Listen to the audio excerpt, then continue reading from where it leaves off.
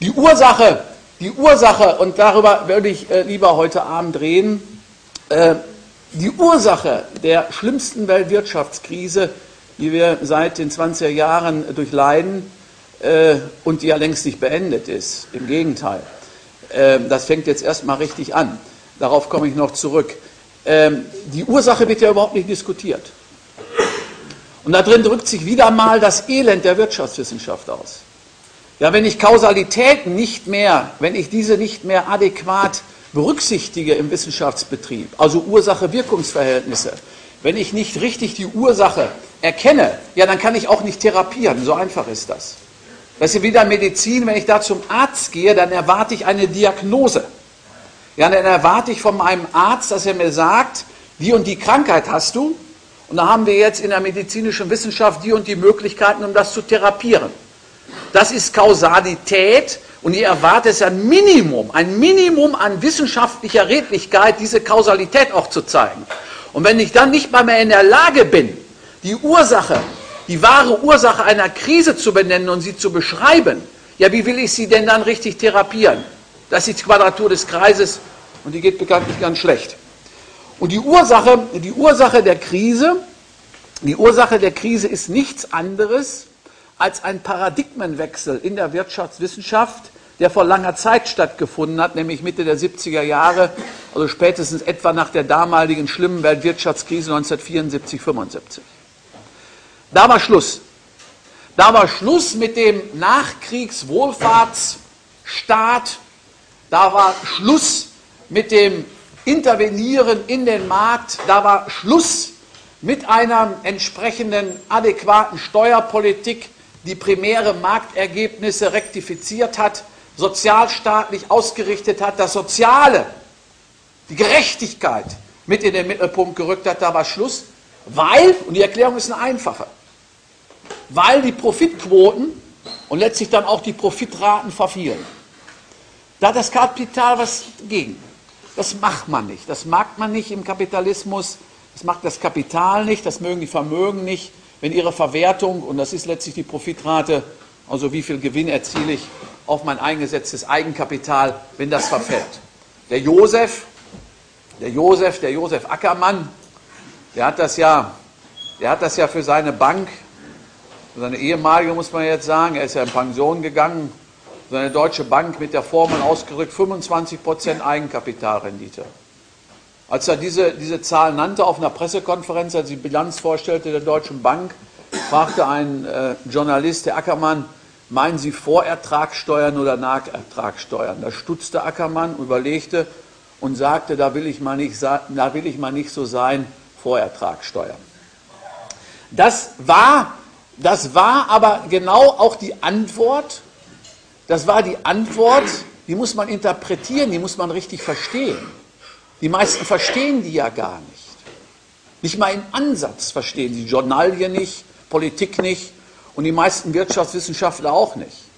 Weil was sich dahinter verbirgt, ist nicht nur das Shareholder Value Prinzip. Das auch, klar, das auch. Nein, das ist eine, sogar eine Umkehrung kapitalistischer Logik, die sich dahinter verbirgt. Erstmal 25% Rendite ja, äh, sind ja nicht darstellbar. Natürlich für ein Unternehmen schon in der Volkswirtschaft. Ja? Aber wenn alle danach gieren, stellen Sie sich nur mal vor, alle, alle Einzelwirtschaften würden danach gieren, das, was Ackermann für seine Bank als Zielorientierung ausgegeben hat, 25 Prozent. Wie da diese Wirtschaft aus, wie da, wie da die Welt aussehen würde. Das wäre kein Raubtierkapitalismus mehr. Ja, der, der, der Begriff müsste neu erfunden werden, was das wäre. Der müsste nur erfunden werden. Das geht nicht. Einzelne mögen das können, aber doch nicht alle. Aber das ist insofern auch die Umkehrung kapitalistischer Logik, die hängt damit zusammen, dass die Wertschöpfung in einer Volkswirtschaft ja immer aus vier Arten besteht, wie Sie wissen. Gehen wir davon aus, dass hier überwiegend Ökonomiestudentinnen und Ökonomiestudenten sitzen.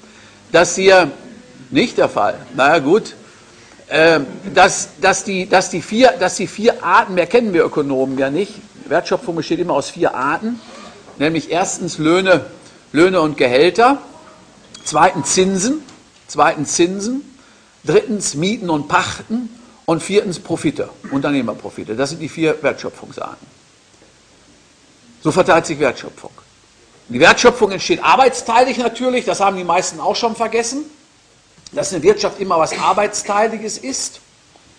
Ja, wir brauchen den Chirurgen, wir brauchen den Professor, wir brauchen auch jemanden, der den Müll abholt. Eine arbeitsteilige Gesellschaft sind wir.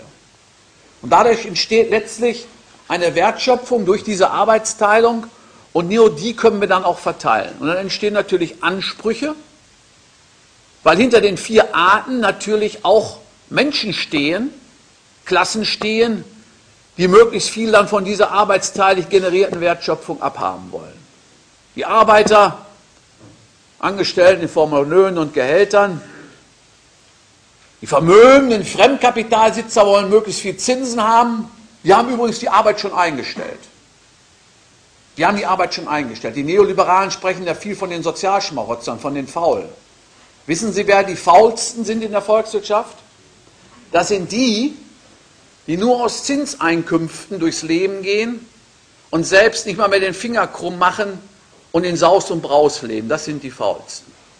Und diejenigen, die Mieten und Pachten erzielen aus der Wertschöpfung, denen Häuser gehören, ja, denen Grund und Boden gehört, dies vermieten und verpachten und selbst die Arbeit eingestellt haben, das sind die größten Schmarotzer in einer Volkswirtschaft. Und nicht diejenigen, die nichts anderes zu verkaufen haben, als wie es Marx mal ausdrückte, als ihre eigene Haut, die sie jeden Tag zum Markte tragen müssen, ihre Ware, ihre wahre Arbeitskraft, um damit aus der Wertschöpfung die erste Art, nämlich die Löhne und Gewinne zu erzielen.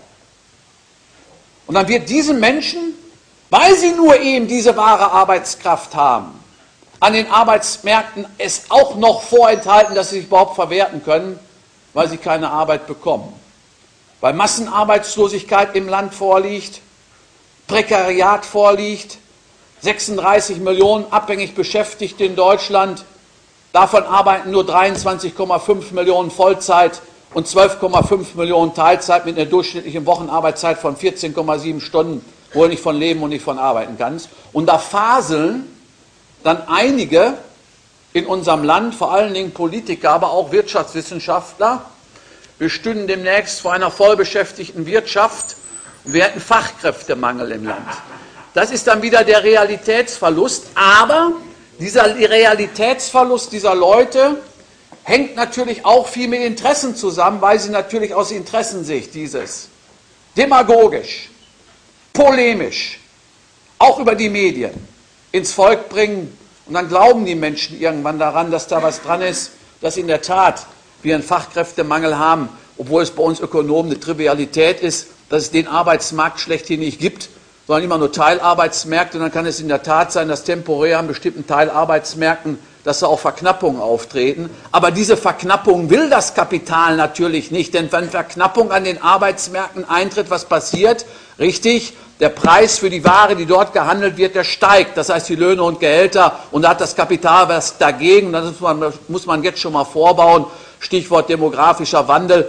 Eventuell ein paar Verknappungen, die an bestimmten Teilarbeitsmärkten entstehen können, um dann Lohnsteigerungen demnächst zu verhindern. Das ist die ganze Propaganda, die dahinter steht. Das hat aber mit Ökonomie, mit Realität nichts zu tun.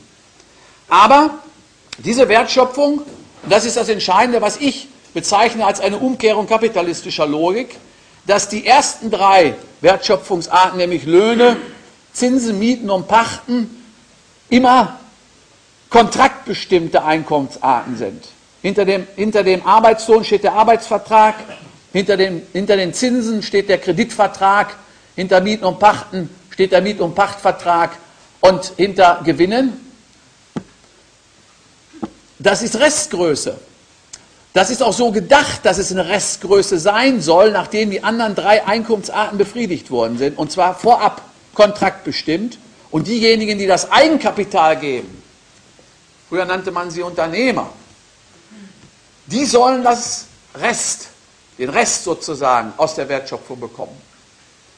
Und da die ersten drei, da die ersten drei auch immer einen Doppelcharakter haben und Gewinn die einzige Größe innerhalb der Wertschöpfung ist, die keinen Doppelcharakter hat, musste man das Spiel, musste man das Spiel wenden musste man es umdrehen und dann wurde es zu einer Umkehrung kapitalistischer Logik, in dem nämlich Gewinn die Eigentümer, die Shareholder, die Anteilseigner gesagt haben, wieso sollen wir in diesem Spiel, auf diesem Spielfeld die Restgröße sein?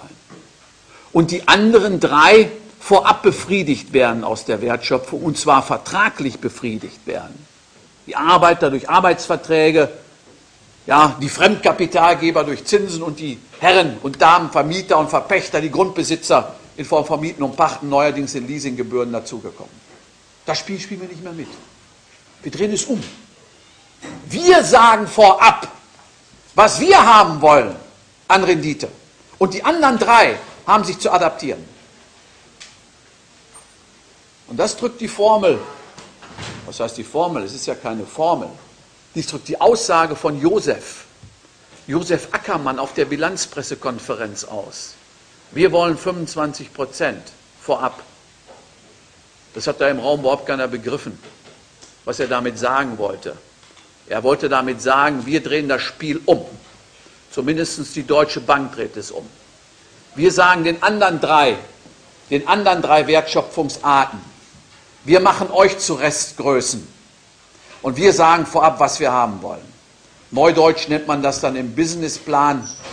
Müsst ihr uns zeigen, wenn wir in die Investition gehen, wie groß die Rendite ex ante ist. Ist sie nicht 25 Prozent kein Invest, ist die Investition getätigt, geben wir noch eine Adaptionszeit von drei Jahren. Kann das Management dann nicht zeigen, dass die Rendite, die wir vorab geben, erreicht wird? Desinvestition. Schließen, Abbruch, Destruktion.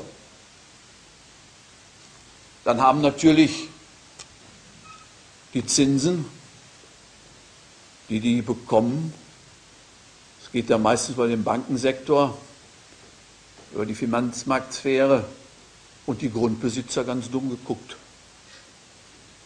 Die wollen uns zu Restgrößen machen? Wie denn das? Was erzählt er denn da, der Ackermann? Wir lassen uns nicht zu Restgrößen machen. Und auf Mal waren sie sich ganz schnell einig. Die Zinsen, die Mieten und Pachten und die Unternehmergewinne. Wohin haben die drei dann geguckt? Gemeinsam, wie in einem Kartell? Richtig, zu den Löhnen haben sie gemeinsam geguckt. Richtig, euch machen wir zur Restgröße. Und zwar in einer konzertierten Aktion gemeinsam. Zinsen, Mieten und Pachten und Unternehmergewinne euch machen wir zur Restgröße. Wer das nicht glaubt, der kann sich ja in der Realität mal mit Arbeitsmärkten beschäftigen. Dann wird er die Lektion lernen, wie man die Löhne innerhalb der Wertschöpfung zur Restgröße gemacht hat.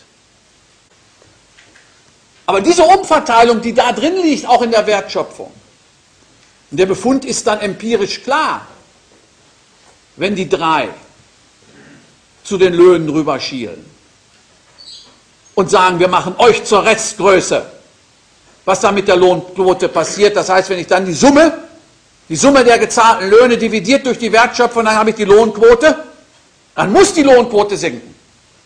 Wir können zeigen empirisch weltweit, mehr oder weniger in allen Volkswirtschaften der Erde, dass die Lohnquote unter dem neoliberalen Paradigma in den letzten 30 Jahren in den Keller geschickt worden ist.